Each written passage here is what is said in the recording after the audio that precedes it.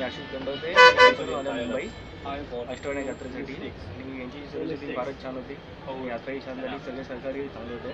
Very good जे hotels वगैरे होते एकदम गुड होते वगैरे पण छान होते आणि अरेंजमेंट नेक्स्ट टाइम नक्की परत परत गुड मॉर्निंग सर।